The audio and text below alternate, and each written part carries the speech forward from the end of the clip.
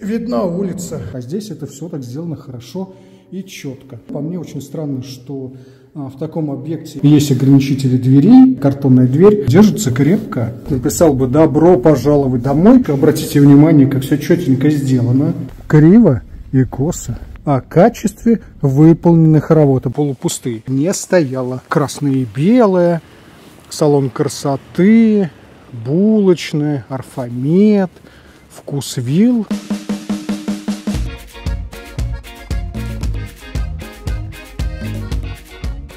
Друзья, добрый день. Я Андрей Артемов. Мы с вами в Московской области, в городе Химки. Химки – один из крупнейших городов-спутников Москвы. Население на январь 2023 года составляло 257 тысяч человек. Жилой комплекс «Рафинат» построен по монолитной технологии. Комплекс граничит с рекой Клязьма и частным сектором. Место живописное. Рядом аэропорт Шереметьево. И над комплексом постоянно пролетают самолеты. 11 зданий из монолита, 8 этажей каждое. Невысотность здания обусловливается тем, что рядом аэропорт и есть высотный регламент. До железнодорожной станции Хлебникова 6,3 километра на автомобиле. Там можно оставить автомобиль и сесть на электричку. Стоимость проезда по карте «Тройка» до Белорусского вокзала составит 71 рубль и 37 минут в пути. Или можно проехать одну станцию на электричке и пересесть в метро на станцию Физтех. В пешей доступности есть и автобусная остановка, с которой можно доехать до станции метро Химки или речной вокзал. Первые дома застройщик сдал 27 мая 2022 года, а последнюю очередь 23 марта 2023 года. На сегодня застройщик возводит многоярусный паркинг на 370 машиномест. Машиноместо в котором на сегодня стоит от 686 тысяч рублей. Согласно экспертизе проекта, в реке Клязьма водится судак, окунь, щука, плотва и другие виды рыб – более 30 видов. В Северном пруду тоже есть рыба согласно экспертизе проекта. Уважаемые жильцы жилого комплекса, напишите, пожалуйста, в комментарии, есть ли все-таки рыба в реке Клязьма и в пруду. Согласно проекта жилого комплекса в подвальной части двухслойная наплавляемая гидроизоляция. С такой гидроизоляцией, полагаю, подвалы всегда будут сухими межквартирные стены из газоблока, а внутриквартирные стены из позагребневых плит и то не до самого потолка. Межэтажное перекрытие стандартное в 200 мм толщину. А вот про шумоизоляцию межэтажных перекрытий в экспертизе проекта ничего не сказано. Вентиляция обычная, приточно-вытяжная. А это значит, чем холоднее за бортом, тем лучше работает вентиляция. Зато класс энергоэффективности всех зданий А+. В 500-600 метрах от комплекса школа за номером 30, в которой есть и дошкольное отделение. Согласно официальных данных от школы, вакантных мест нет. Если почитать отзывы на Яндекс картах о школе, то можно узнать много интересного. Зато рядом платные частные детские садики – одно место в котором стоит 30 тысяч рублей. В комплексе 1603 квартиры и 370 машиномест в многоуровневом паркинге, который еще не построили. Есть машины места и на дворовой территории, но на всех их навряд ли хватит. Квартиры в комплексе представлены от студий до трехкомнатных квартир. Квартирография комплекса выглядит следующим образом. Студии и однокомнатные квартиры занимают 37% от общего числа квартир. Двухкомнатные квартиры 40% и трехкомнатные квартиры 23%. Высота потолков от 2 метров 85 сантиметров до 3 метров 15 сантиметров согласно проекту застройщика. А лично для меня планировочные решения обычные. Во всех планировочных решениях небольшие ванные комнаты и кухни для примера взял евро трехкомнатную квартиру в 64 квадратных метра. Ванная комната чуть более 3 квадратных метров. А такая квартира стоит от 12 миллионов 144 тысяч рублей. На момент съемки видео однокомнатная квартира в предчистовой отделке стоит от 8 миллионов 300 тысяч рублей. Или 239 тысяч 831 рубля за 1 квадратный метр. Кладовки в комплексе стоят от 305 тысяч рублей. На вторичном рынке за однокомнатную квартиру в черновой отделке в 43,3 квадратных метра просят от 7 миллионов рублей. А с ней работы непочатый край. Если обратить внимание на арендный бизнес, то в этом жилом комплексе студию 18 квадратных метров можно арендовать от 2500 рублей за сутки. Однокомнатная квартира обойдется чуть дороже – 3600 рублей за сутки. На длительный период аренды студия обойдется вам в 32 тысячи рублей в месяц, а однокомнатная квартира уже стоит от 45 тысяч рублей. Через реку от комплекса расположен жилой комплекс «Город набережных», где однокомнатную квартиру можно взять дешевле в аренду от 30 тысяч рублей. Комплекс дан, идемте смотреть.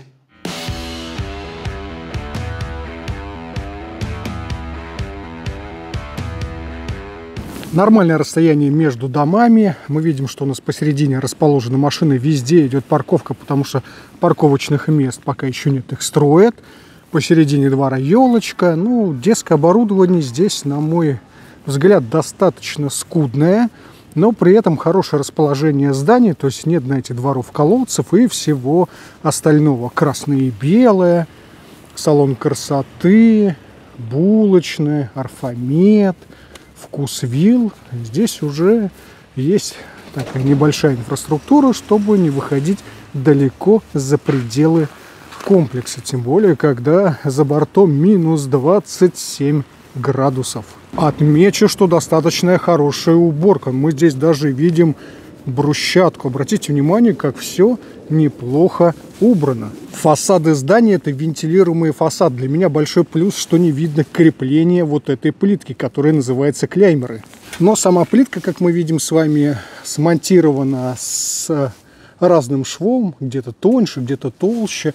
Ну, так, местами все достаточно кривенько. Вот такие есть элементы. Странно, что нет никаких заглушечек. Но зато обращаю внимание, если спускаться в приямок, то мы здесь видим нормальную плитку. Мы здесь видим место, куда должна уходить влага, чтобы она здесь не стояла. Вход в подъезды в уровень с землей. Ну, например, когда проходишь, нужно вот стоять прямо практически, чтобы увидеть эту циферку 2, которая сливается, соответственно, с стеклом и самой коробкой двери. Мне, конечно, бы хотелось, чтобы нумерация хотя бы была бы вот в таких местах. Ее было бы видно, например, к вам едет таксист, а он не знает, где второй или третий подъезд. А тут были бы большие цифры.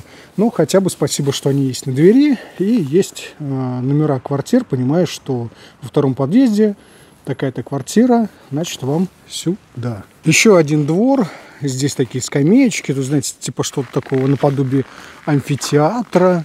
Ну и оборудование для детей одно из самых недорогих, что, наверное, нашел застройщик. Хотя нет, знаете, есть еще дешевле, но могли бы, конечно, что-то сделать и более поинтереснее, потому что место есть, но дворы такие, знаете, по мне полу-полупустые. Из плюсов это наличие мест под кондиционеры, Везде вот такие красивые сетки. Если вот обратить внимание как раз на фасад, тут белая плитка по мне смотрится классно.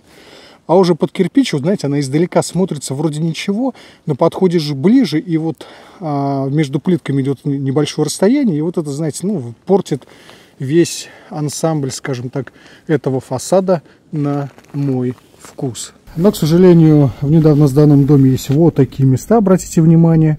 Это говорит о чем? Совершенно верно, о качестве выполненных работ. Обратите внимание, как все уже отваливается. Это будет разрушаться дальше. Соответственно, нужно все это демонтировать и заново смонтировать, что влетит жильцам в копеечку. Ну, либо обращаться по гарантии к застройщику с гарантией 5 лет. А на морозе в минус 27 оборудование микрофон DJI сел на минут за 15, вообще трындец.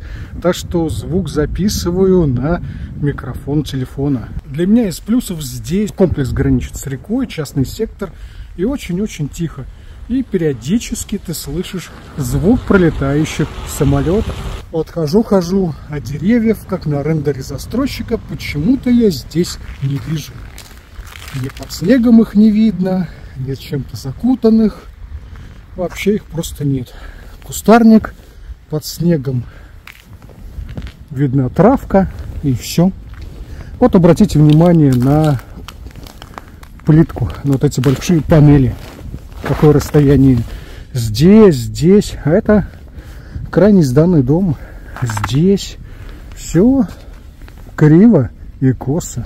За этой плиткой идет воздух, а потом идет утеплитель. И самое, конечно, основное, чтобы утеплитель качественно уложили. От этого будет зависеть, будет холодно в ваших квартирах и будет ли там примерзание, либо его не будет. Входная группа, третий подъезд, квартиры со 111 по 173. Заходим. У нас здесь вот такая есть решеточка для того, чтобы обтереть ноги. Это вот так, чтобы грязь сюда не нести. Здесь уже подбитая плитка. Заходим в тамбур.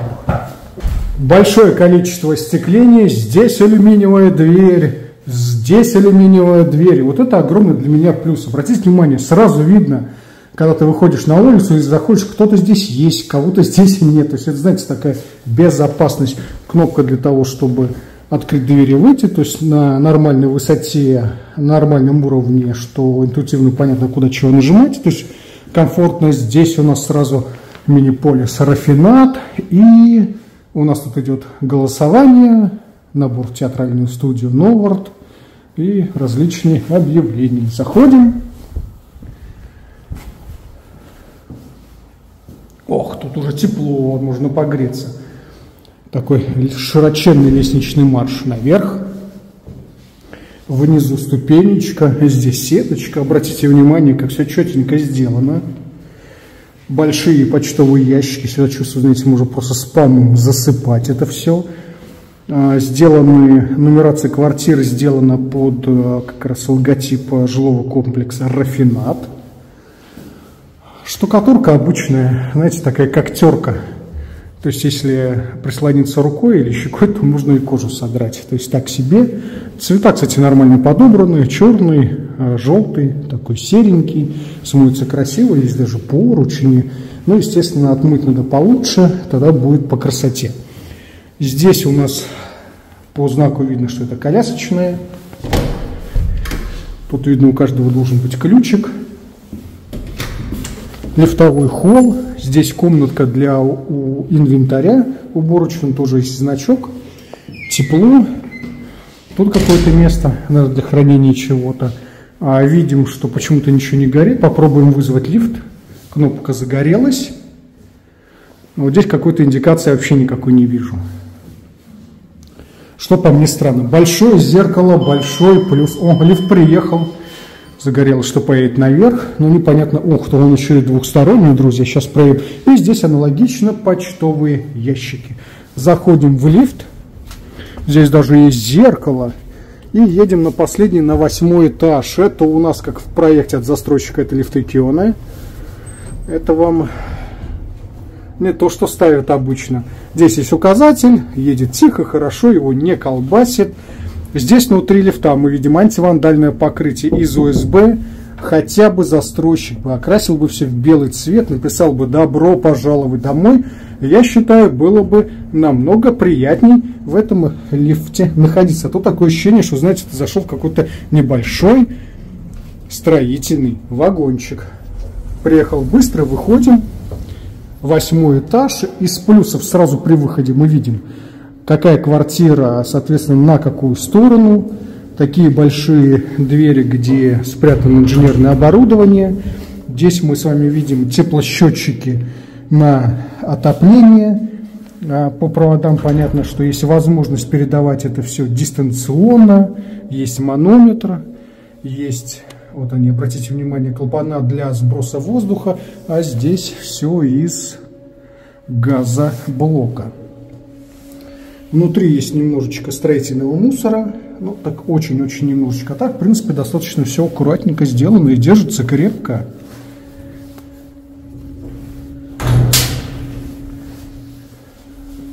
Нумерация квартир сделана интересно. А, дверь 169 квартиры, это, знаете, обычная такая картонная дверь. А, когда советские были панельки, там тоже были такие двери, которые потом все люди меняли, потому что они были просто картонные. Чуть посильнее потянуть за ручку, и все отломалось. Так, смотрим, что у нас здесь за оборудование. Ага, здесь у нас слаботочечка. Под нее вот здесь видно, что большое количество сделано труб, то есть можно прокладывать и прокладывать. Но если обратить внимание, вот на это место, видимо, уже штукатурка пошла. Соответственно, скорее всего, она пошла, когда крепили а, коробку дверную к проему. Здесь газоблок, и с газоблоком, к сожалению, такое возможно. Значит, здесь вот именно в этом подъезде видно, что есть разделение дверь, часть квартир здесь, и, соответственно, дверь, дверь часть квартир здесь. Лифт смотрится красиво по мне. Есть ограничители дверей от застройщика, что тоже для меня, например, большой плюс. Ну и, в принципе, смотрится достаточно неплохо. Как вам, друзья? Если зайти в межквартирный коридор, то обращаю внимание, что здесь он достаточно широкий. Здесь, знаете, по ощущениям даже разъедутся две коляски с детьми. Но двери, как мы уже с вами видели, все 100% на замену. По мне очень странно, что в таком объекте не смогли поставить нормальные, хорошие двери, чтобы люди их не мешали, чтобы их люди не меняли, и чтобы было все в едином стиле. Но зато хотя бы нормальная, красивая нумерация квартиры, и мне нравится, как здесь сделан потолок. Смотрится красиво и эффектно. А чтобы не быть голословным, при помощи моего электронного друга мы с вами измерим ширину этого коридора, который составляет 1 метр 80 сантиметров. Лестничный марш тоже смотрит, смотрится красиво, нормальная ограждающая конструкция, которая держится криво, крепко, просто обычная труба, окрашена такой матовой краской, смотрится классно. А, с бетонного завода привезенный лестничный марш, здесь они смонтированы, вот здесь окраска такая по краешку идет черного цвета, смотрится прикольно. Единственное, конечно, чтобы если была бы гладкая штукатурка, по мне смотрелось это более эффектно, но тогда нужно лучше и ровнее, э, соответственно, штукатурить стены. Также здесь из плюсов. Это у нас последний этаж, и у лифта вот все оборудование управления лифтами находится в этом коробе. И короб утуплен вот туда вовнутрь, здесь только вот эта дверь торчит. То есть, знаете, обычно вот все это выпирает и смотрится так не очень на последних этажах, а здесь это все так сделано хорошо и четко. Единственное, что у меня вопрос, конечно, вот к этому цвету. Почему нельзя было сделать какой-нибудь зачерненный или хотя бы из э, серебристого металла дверцы смотрелось бы, конечно, интереснее. Поднимаемся чуть выше. Здесь мы с вами уже видим плитку. Иногда застройщики экономят, здесь просто никакой нет отделки. Здесь тоже есть отделка. Здесь даже открываются окна и можно посмотреть на комплекс с высоты уже э, выше, чуть выше восьмого этажа. Поднимаемся с вами еще выше. И обратите внимание, здесь тоже с отделкой это все хорошо. А вот у нас здесь должна быть, должен быть выход на кровлю. Да, здесь все закрыто и опечатано. Но видна улица, вот она щель, через которую уходит тепло, за которое платят жильцы. Мы с вами на первом этаже, я вызвал лифт, чтобы проверить, спустится ли он еще ниже. И обратите внимание, здесь кнопочка есть 0. И это очень удобно. Удобно это для чего? То есть вы везете себе, например, в новую квартиру стиральную машинку, которая весит достаточно много, и чтобы ее на первый этаж не тащить пешком, вы ее можете поднять на лифте. Также свои, например, покупки из супермаркета. Молодцы. А на что здесь первый обратил внимание, что в прошлом году до 30 числа, аж на 31 председатель подписал, что все здесь убрано. Но обратите внимание, если на этот пол, то видно, что здесь никто никогда ничего не мыл. Здесь вот это все, друзья, это просто обычная строительная пыль. А, интернет, телеком-центр Дом.ру. И обратите внимание, что скорость 100 мегабит стоит 600 рублей, 1000 мегабит стоит 1200 рублей в месяц, а с базовым пакетом телевидения 1400 рублей. Для меня сами здания смотрятся неплохо, особенно издалека. К примеру, белый цвет мне нравится больше, нежели чем а, вот эти плитки, сделанные под кирпич, которые вблизи смотрится по мне достаточно так себе. Из основных минусов для меня это отсутствие озеленения. Почему ее нет так, как э, презентовал проект застройщик, мне, честно говоря, непонятно. Но, как правило, сдают объект, когда он на 100% соответствует проекту. Значит, так все было в проекте. И рисунки, к сожалению, сильно отличаются от жизни. Река Клязьма, на противоположной стороне от нее мы с вами видим, там здесь и зона отдыха, и детские площадки, и спортивные площадки, там воркаут они называются, и можно поиграть в волейбол. Вон, видите, как низко самолет вот пошел на взлет, где-то вот там получается у нас аэропорт. Здесь своя набережная, свои мостики. Летом, конечно, здесь вообще очень красиво и душевно. А напротив, обратите внимание, прямо через речку Клязьма, вот он у нас город набережных от Urban Group. Широкая достаточно дорога, скользкая. Даже вот здесь, если обратить внимание на белые плитки, то видно, что между ними разное расстояние. Мы за это, друзья, с вами платим свои деньги, берем ипотеки на 30 лет. Ну, естественно, хочется, чтобы дом был ровный, красивый, такой же, как и его презентовал застройщик на своих рендерах, а не так, что потом приходишь, ни деревьев, ни травы, вообще ничего нет. Ну, естественно, для меня здесь главный вопрос – это шумоизоляция, потому что все стены к соседям из газоблока, ну и не считая шумоизоляции перекрытий, потому что про них в экспертизе почему-то ничего не написано. Из плюсов, конечно, это то, что своя набережная, большое количество таких мостиков, Сейчас, конечно, зима, но я представляю, когда здесь лето, все зелененькое, красивенькое. Вот здесь видна трава, свет красиво горит, можно прогуляться а, с детьми, с животными, с собакой, например, своей. Вон еще один самолет, кстати, летает, летает очень-очень часто. Хотите тоже рассказать про свой дом, про какие-то особенности, поделиться своим мнением, положительным либо отрицательным, вы можете написать в мой телеграм. Для этого я специально оставил ссылку в описании к этому видео. Друзья, а рад был вас всех видеть. Обязательно поставьте лайк, не ставьте дизлайк, подпишитесь на канал и поделитесь ссылкой на это видео. А я с вами, как обычно, не прощаюсь, а говорю до скорой встречи.